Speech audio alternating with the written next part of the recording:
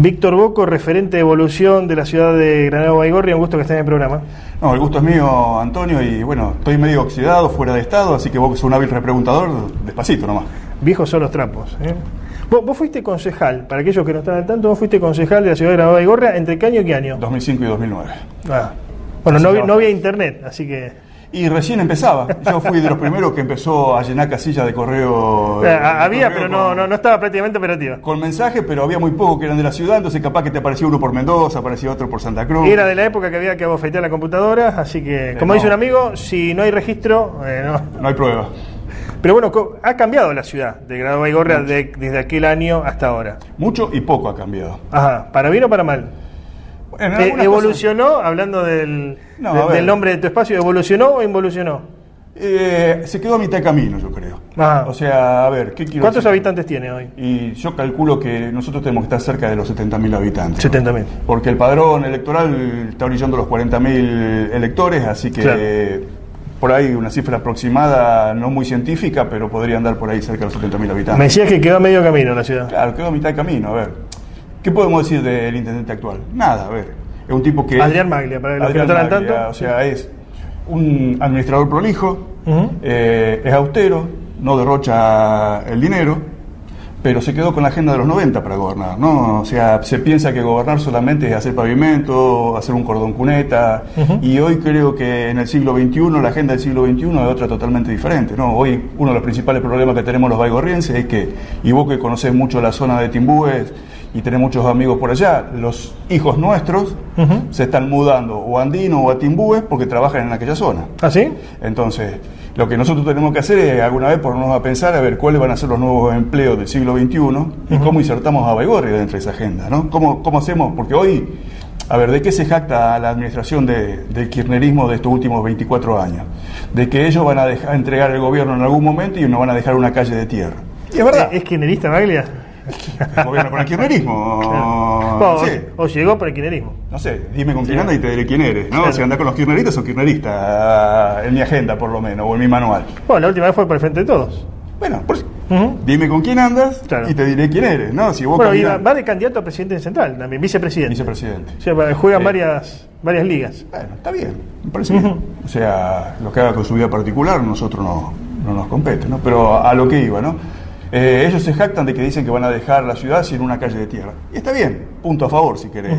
Eh, ¿Por qué? Porque siempre, ¿de qué, de qué se quejaban la- las damas, fundamentalmente, ¿no? Que, que no se tenían que llevar los zapatos lindos en una bolsita porque con el barro, si no, llegaban arruinados a los trabajos. Hoy no, se, no tienen más que hacer eso, porque tienen a lo mejor pavimento en la calle.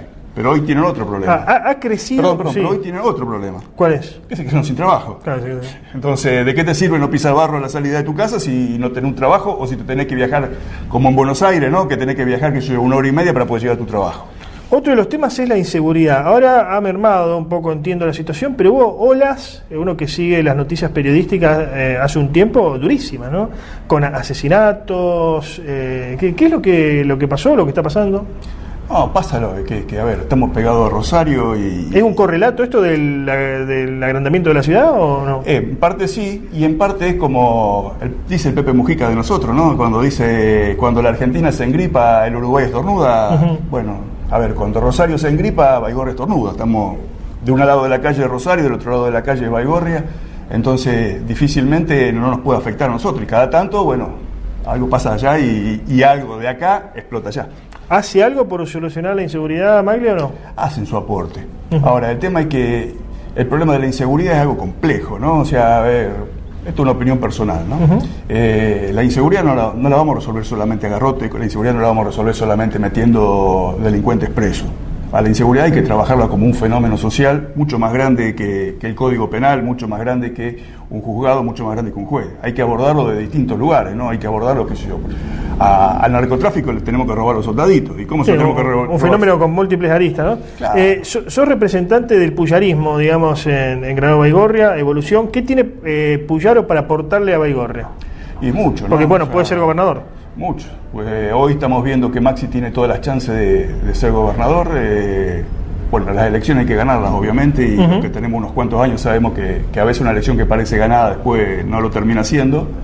pero está trabajando mucho, está trabajando bien, tiene un equipo extraordinario, es el primero de, de todos los potenciales candidatos de cara al 2023 que, que, está armando la agenda abierta, es decir, un plan estratégico provincial para, bueno, para, para que la sociedad tenga claro qué, qué va a hacer el, si le toca ser gobernador de Santa Fe. Está en una muy buena relación con las empresas, está visitando uh -huh. empresas, está visitando comercio. ¿Por qué? Porque sabe que, que, que, necesita que la provincia de Santa Fe, si, a ver, si vos gobernador o vos intendente querés cobrar impuestos, necesita una sola cosa, que tus habitantes y tus ciudadanos tengan trabajo. Claro. Pues si vos tenés trabajo, podés pagar impuestos. Ahora, si vos no tenés trabajo... ¿Va a ser finalmente candidato de Puyaro en Baigorria? No, probablemente no. Pero bueno, en esto no está nunca todo dicho. Creo que, que mi tarea en estos tiempos es colaborar en el armado de algo más grande uh -huh. eh, en la ciudad. Estamos trabajando y hablando mucho con varios sectores con los que siempre nos hemos enfrentado y hemos dividido votos. Hoy estamos pensando seriamente en trabajar juntos y en generar una propuesta que, bueno, que sea superadora, ¿no? que, que podamos dar un mensaje a la sociedad que digan, bueno, a ver, si nosotros somos capaces de sentarnos y charlar y armar una lista juntos y, y hacer una propuesta juntos, eh, bueno, es probable que podamos gobernar también de cara a toda la ciudad de Baigorria y que no haya grietas y, y que podamos participar todos de, de un gobierno que, que sea mejor que el que tenemos hoy. Víctor Boco, muchas gracias. No, gracias a vos por este tiempo y bueno, a disposición para cualquier vez.